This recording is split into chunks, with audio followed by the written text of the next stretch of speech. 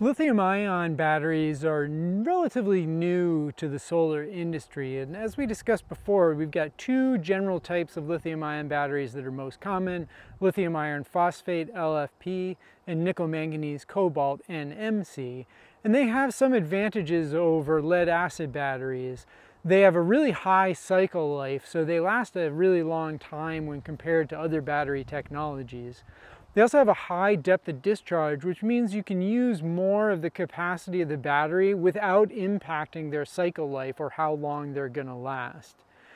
They also operate at a partial state of charge well, and what that means is that they don't need to be fully recharged regularly like lead acid batteries do. A lithium ion battery can operate not fully charged for a long time without impacting the lifespan of the battery. Because of the architecture of the battery, they can also be recharged faster. So in situations like where you're living off grid and you have a generator, those lithium ion batteries can be charged at a faster rate than what a lead acid battery can be charged at.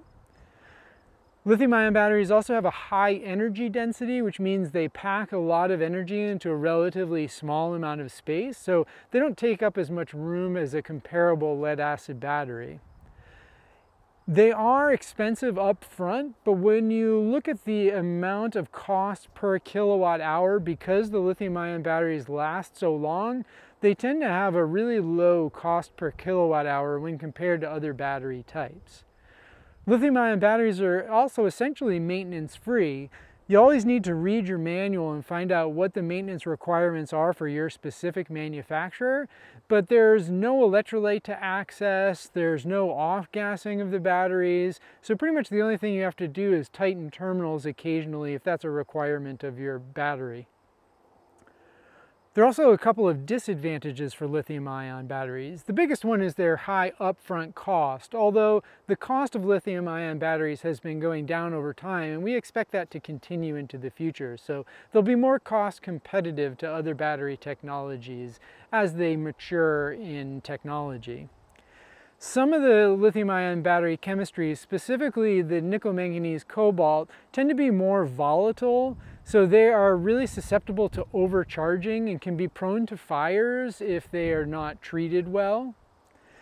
They have a limited operating temperature range as well. So lithium ion batteries, most of them, cannot be charged below freezing. So they have to be in a conditioned space to operate properly. Another downside with lithium ion batteries is the technology is relatively new, so they haven't been deployed in the field as long as lead acid batteries have been. So we actually don't know how long they're gonna last because they just haven't been out as long. So that's something that we'll get more information on as the technology matures.